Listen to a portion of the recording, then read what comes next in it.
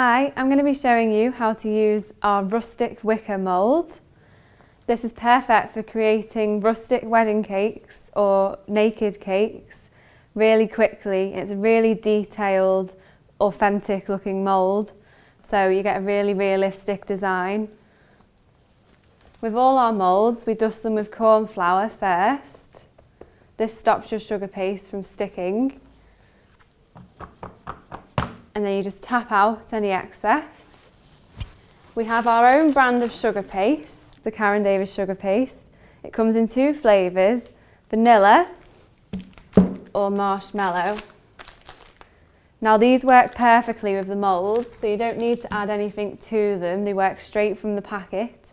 Um, all we say is that if you prefer using other brands of sugar paste, um, that we tend to ask people to firm them up with a little bit of Tylo powder or CMC.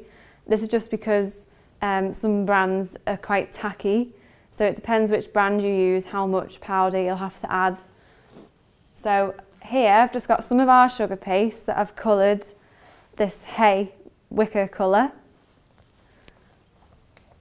So before I place it into the mould, I just want to roll it out till it's roughly the same size uh, width and length as the mould, like that. So now I'm just going to place my paste on top. And to begin with, I just want to press the paste down into the start of the mould and this will hold it into position while we roll it out, like that. So now I'm just going to take my rolling pin and I'm going to roll across nice and firmly until you can begin to see the pattern through the back of your paste. So just continue all the way along and once you get to the end, if you just continue to roll over the top of the mould like that, your paste will tear off and then you can just use your fingers to drag your paste so that it's not hanging over the edges of the wicker.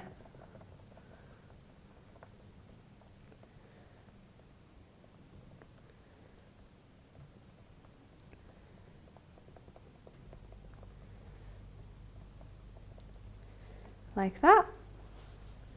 So once you're happy, you just want to turn your mould over and peel it back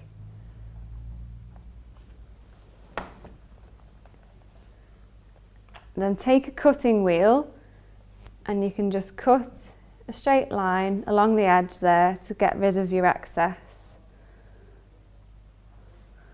Like that. So now to finish,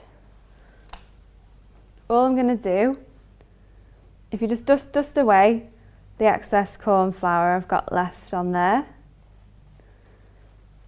then I've just got some brown powder colour. And all I'm going to do is just add a bit of shadow using the brown just where the wicker is at its deepest.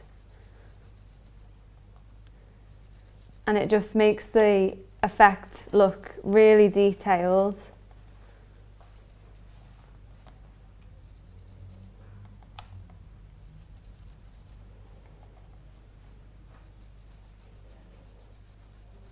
So you don't have to do it all over the mould, just in certain areas.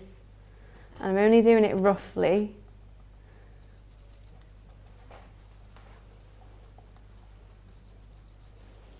And then finally, to finish, if you just take a bit of white powder colour, you can just add a few highlights over the raised areas. And again, this just adds a bit of depth and gives it a more realistic look.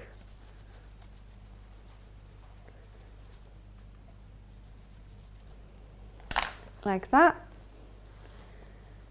And then to finish, I just like to give it a light mist using this clear glaze spray. Like that. and that just really brings out the detail and gives it a real, really realistic look. So as you can see, it's really easy to handle. So I'm just going to cut this in half to show what you do to disguise the joins when you come to attaching it to your cake. So as you can see, one end of the mould has been made thinner and one end has been made thicker.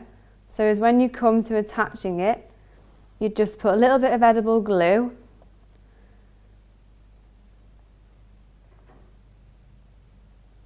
and then you can hardly see the join as it is. So if you wish to disguise it further, you just use a Dresden tool to gently stroke the wicker down like that. And that disguises any joins.